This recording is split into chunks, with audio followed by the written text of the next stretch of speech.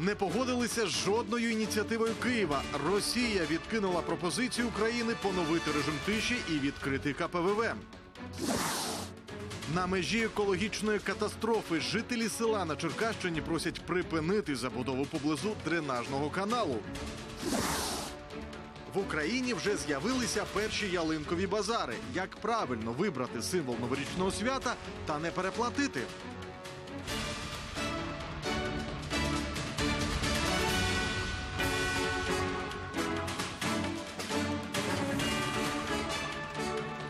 Новини на інтері. Я Олександр Васильченко. Добрий день. Минулої доби на сході поранено двох армійців. Один у важкому стані, інший боєць у задовільному. Повідомили у штабі ООС. За добу було шість порушень режиму тиші, три з застосуванням забороненої зброї. У районі станиці Луганської російські найманці застосували міномети 120-го калібру. З гранатометів та стрілецької зброї противник обстрілював українські позиції біля шумів Новомихайлівки та Причепилівки. Армійці відкривали вогонь у відповідь. Що кажуть військові про нинішню ситуацію на передовій? Дивіться в матеріалі нашого кореспондента Руслана Сміщука. Справа хатки, хатки, хатки, а потім метрів 10, коротше, пространство відкрите. Ну, коротше, вони коли починають по нам лупити, то тут свистить так, що дай Бог. Це селище Зайцеве біля Горлівки. Окопи та укріплення розтинають його навпіл. Одна частина підконтрольна Україні, інша тимчасово окупована. І звідти час від часу прилітає смертоносне залізяча. Поступає команда, ну, типа, е, відповісти, там, приглушити їх. Сразу починає летіти РПГ, СПГ. Оце з РПГ, з СПГ вони дуже Це люблять гранати, працювати. да? реактивні. Стояли і чули декілька е, виходів, потім Да. проходів. Це, це от Да. ці гранати? Ні, ні, ні, це, це міномет здоровий, 120 точно. Чутно і менші калібри. Ворог обстрілює сусідні позиції. Недавно літав їхній е, квадрик. Оцей. Що це за вибух? Це вибух е, десь з РПГ вийшло. Виход. Це зараз десь прилетить. Ну, так, да, можливо, вже там десь прилетіло. О, чуєте? Що це зараз? Ну ніби черга. О, ДШК, да. Це оце крупнокаліберний кулемет. Українські армійці розповідають, ось на такі поодинокі простріли вони зазвичай не реагують. А коли вже стріляють, то прицільна по ворожих вогневих точках.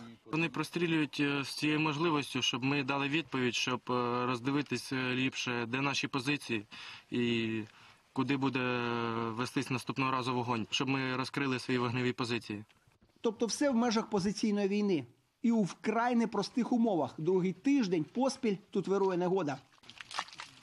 Ходити по цих окопах треба дуже обережно, адже рідка багнюка дуже склизька і легко можна впасти. Але у деяких випадках, як от тут, вона навіть допомагає українським воякам. У деяких місцях армійські окопи впритул наближені до ворожих укріплень, тож багнюка є додатковою перепоною для супротивника. Каже хлопець, що бачив 50 метрів від себе. Е, Тіпочек виліз з окопа, коротше, глянув. Ну, я думаю, що коротше, його вели, кажуть, отут позиція, виліз глянь. Він виліз глянув, якраз наш виліз глянув, вони отак от друг на друга. Він каже, пацани, каже, 50 метрів повний рост. Фу, ну коротше, нормально лазують.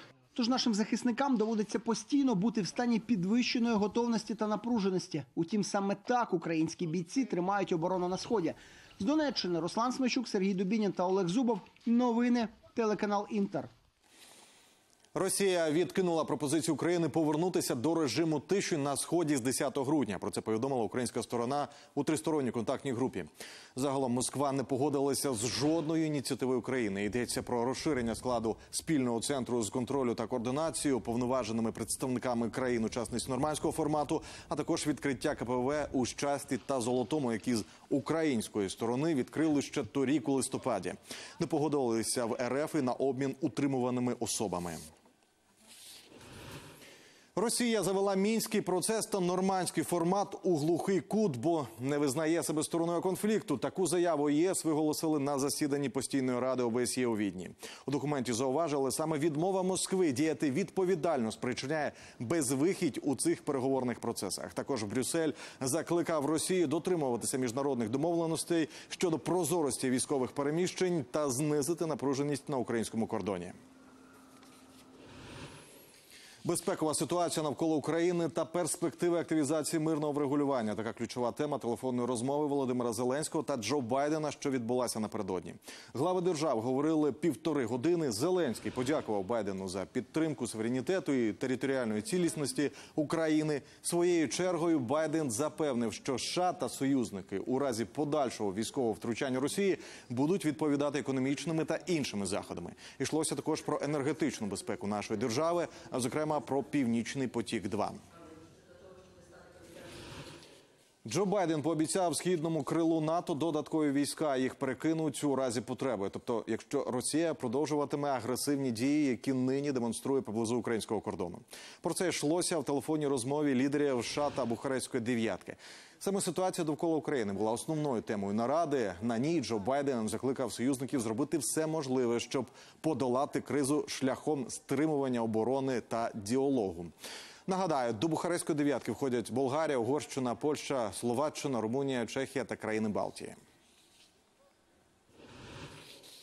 Нормандський формат як формат перемов потрібно зберегти незалежно від переговорів Байдена і Путіна. Так вважає французький президент Еммануель Макрон. Він підтвердив, що наступного тижня має поспілкуватися з Володимиром Зеленським та новим канцлером Німеччини Олафом Шольцем на полях саміту Східне партнерство. А МЗС Франції та Німеччини заявили, що якнайшвидше хочуть організувати нормандську зустріч на рівні міністрів закордонних справ.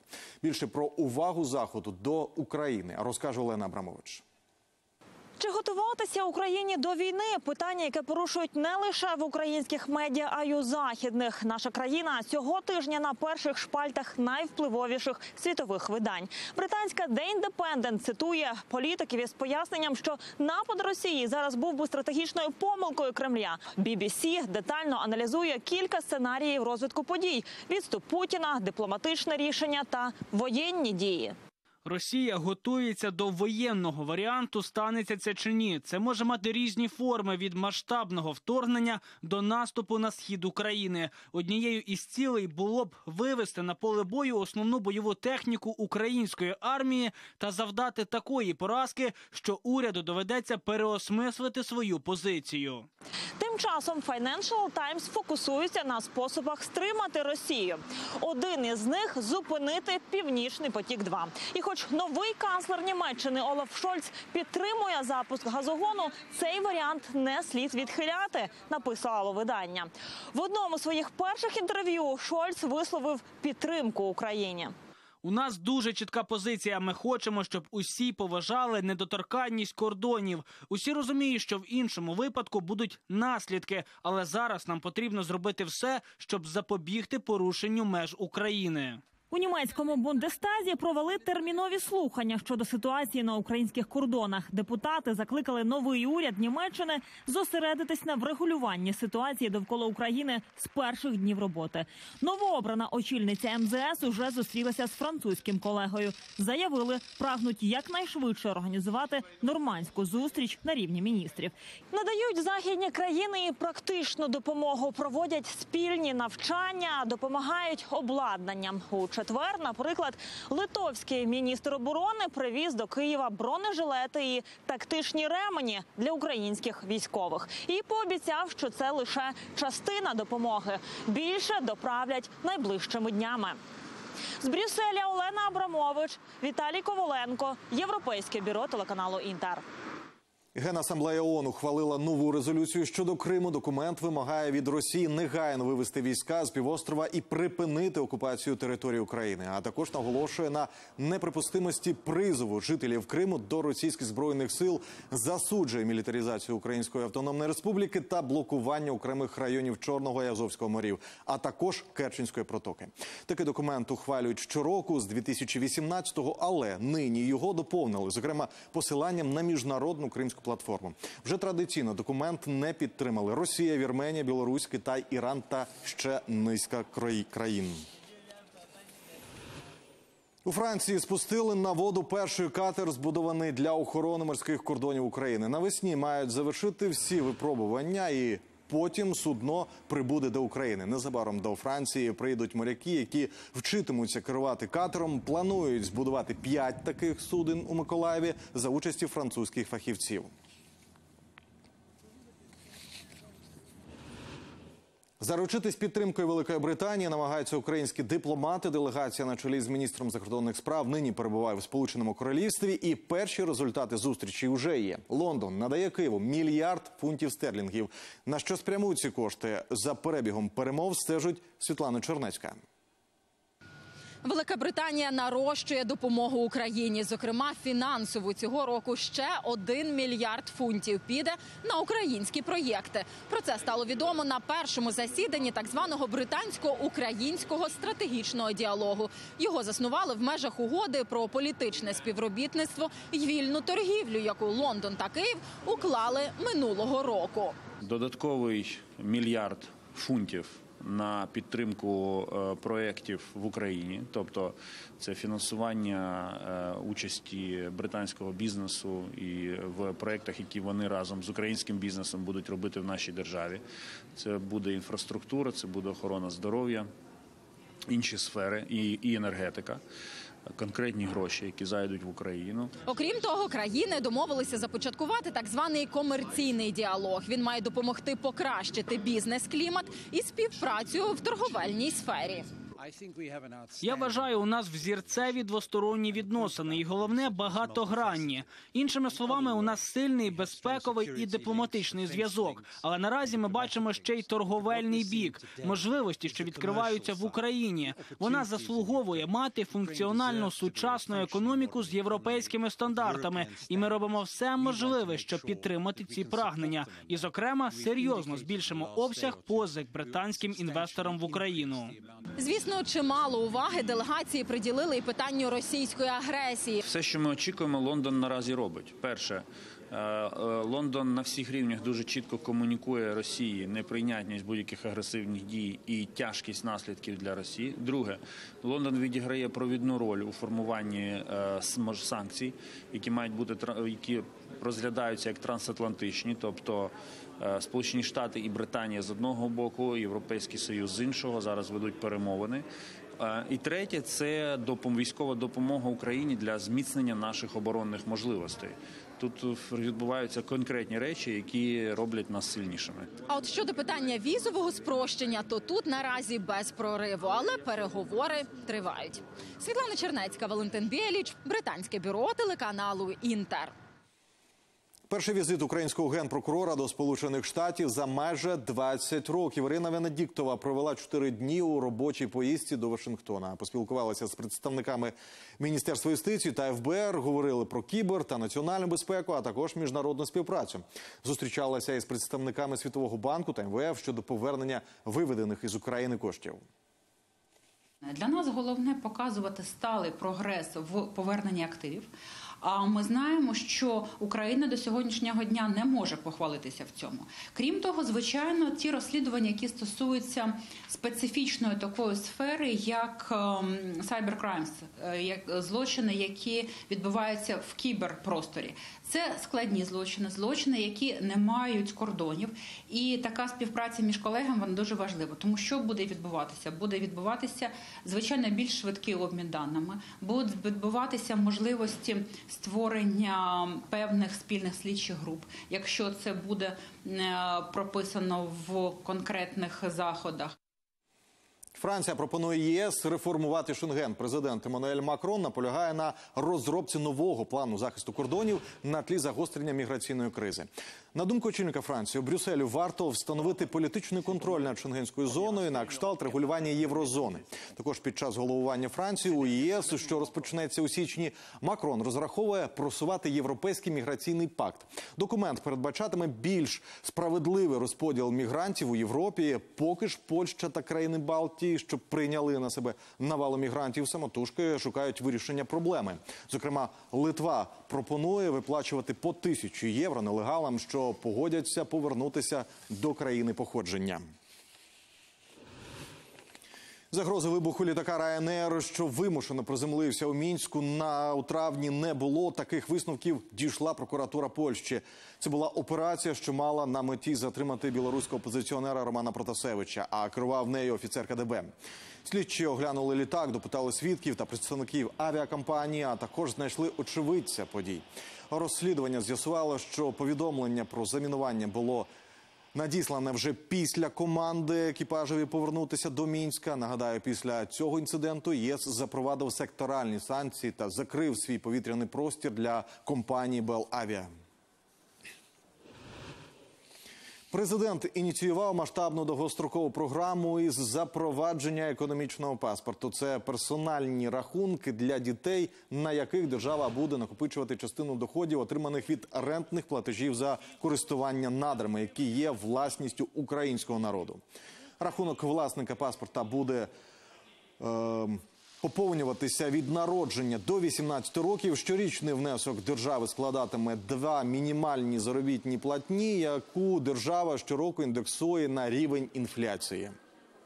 Буде повністю автоматизована система попадання в цей фонд. Будуть автоматично формуватися реєстри народжених дітей. Батькам не потрібно буде ходити ні в які інстанції, оформляти ніякі довідки. Все буде відбуватись автоматично в додатку Дія, де на кожну дитину з моменту народження дитини, з моменту отримання свідоцтва про реєстрацію дитини, можна буде загрузити персональний рахунок, де в онлайн режимі буде видно, скільки коштів надійшло, скільки відсотків зароблено і як щорічно поповняється рахунок дитини. 11 тисяч 327 нових випадків коронавірусу зафіксували в Україні минулої доби. 442 пацієнти померли, одужало 24,5 тисячі людей. За даними Міністерства охорони здоров'я, дві дози вакцини отримали вже майже 40% дорослого населення країни. Безкоштовно зробити ПЛР-тест на коронавірус можна в аеропортах Латвії, зокрема і для українців. Таку можливість мають усі мандрівники, що прибувають до республіки. На тепер потрапити в Латвію мають змогу українці, які отримали ковід-сертифікат з QR-кодом, згенерованим у дії. Громадяни, що не мають такого документа, можуть в'їхати в Україну лише у виняткових випадках за рішенням окремого дозволу керівника Державної прикордонної служби Латвії. На екологічну катастрофу може перетворитися щільна забудова на Черкащині. Там жителі села Дахнівка просто благають місцеву владу припинити роздавати землю будівельникам, адже йдеться не просто про ділянки, а про узбережжя дренажного каналу. І опинившись у руках забудовників, ті нехтують усіма правилами, зводять житло, а будинки мешканців стоять затоплені та й з тріщинами. Чи почула місцева влада людей та до якого лиха може призвести земельна щедрість? З'ясовував Станіслав Кухарчук. Раніше не було води. Це буквально років з 10 вона почала підходити сюди.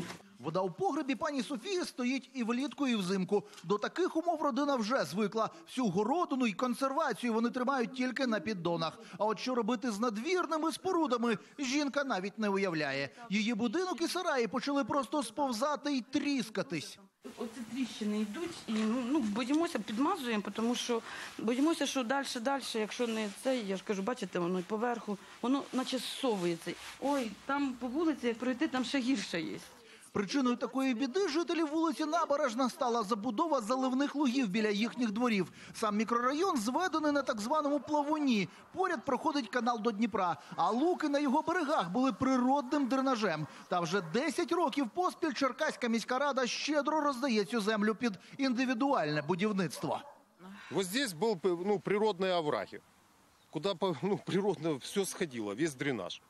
На данный момент, когда вот здесь все засыпали, вам уже рассказывали, здесь даже из земли с глубины метр вот по улице выдавило газовые трубы. Вода на подвір'я місцевих жителів потекла, коли нові власники ділянок почали піднімати їхній рівень і завезли сюди майже чотири сотні вантажівок із землею. Крім природного дренажу, місцеві жителі втрачають і єдину зелену зону, адже весь масив навколо каналу вже поділений на ділянки. Жителі вже неодноразово зверталися і в екоінспекцію, і в прокуратуру з проханням про допомогу. Остання навіть двічі позивалася до суду, аби скасувати рішення міськради, але марно. Обидва позови не задоволено, і апеляційною інстанцією знову ж таки рішення суду першої інстанції залишено без змін. Тобто прокурор вичерпав е, можливості, передбачені законодавством. На цій сесії депутати знову мають проголосувати за виділення чотирьох ділянок на вулиці Набережна. У відчаї жителі набережної теж прийшли до депутатів на сесію і вже з трибуни благали тих схаменутись. Просимо всіх депутатів, будь ласка, звертайте ще раз увагу на ті ділянки, які виставляються на голосування. Місцеві таки здобули невелику перемогу. Виділення чергових соток депутати не підтримали. Станіслав Кухарчук, Павло Тимошенко, телеканал Інтер, Черкаси. Потужна піщана буря накрила столицю Єгипту близько доби. У Каїрі не було видно навіть сонця. П'ятиметрова піщана стіна ниби поглинула місто. У столиці та населених пунктах довкола закрили школи. Мешканцям рекомендували залишатися вдома. Призупинили таке ж морське сполучення. Пориви вітру подекуди сягали 60 кілометрів на годину.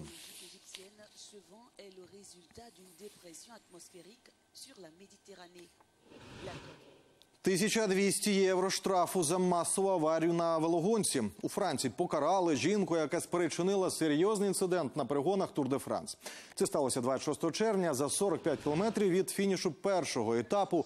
Уболівальниця з великим плакатом заступила на край смуги, внаслідок чого крайній спортсмен зачепився за нього і впав. Це спровокувало падіння більшої частини велосипедистів. Один учасник змагань вибув, ще восьмеро отримали травми. Винуватиця втекла з місця події, однак її упізнали сусіди і видали поліції.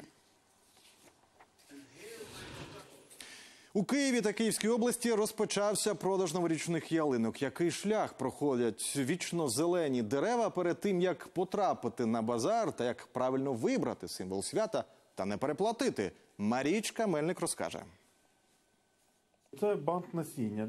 Так нас е, тут зберігається насіння хвойних і листяних порід. Таких бутлях вони можуть зберігатися майже аж до 30 років. Тут у Фастівському лісництві облаштували спеціальні ялинкові розплідники. У цьому банку насіння витримують спеціальну температуру та вологість повітря. Вже не один десяток років перед кожною весною насіння хвойних порід висівається в коробки. Його обробляють спеціальними засобами, які захищають від шкідників. Оце ялина е, звичайна, однорічна. Їй якраз рік після того, сюди її висіли. Щоб вона е, попасла вже у ліс, рік її тут ростили, пололи, доглядали. Ну, у двохрічному віці вже її пересаджують на плантації новорічних ялин. На таких плантаціях висаджено понад 10 тисяч рослин. Щоб виростити новорічну красуню правильної форми заввишки 2 метри, потрібно 6-8 років. За цей час обов'язково треба обкошувати дерева і формувати крони, щоб дерево мало більш чітку форму. Оце е, їй три роки. Їй десь вона по ну, орієнтовно десь до пів метра. Ще треба два роки, щоб вона була метр. Потім ця ялинка вже формується і ще чекаємо років два. Попит мають і саджанці ялинок у горщиках. Єдине, таке дерево потребує ретельнішого догляду. Головний догляд після того, як ми їх пересадили в закриту кореневу систему, це полив, звичайно, і підживлення якимись добривами мінеральними або фосфатними, тобто для кращого росту. Розплідники рослин бувають і державними, і приватними. Продають дерева оптом і в роздріб. На кожне з них чіпляють чіп. За ним можна визначити походження дерева. Усі дані знаходяться в єдиному реєстрі.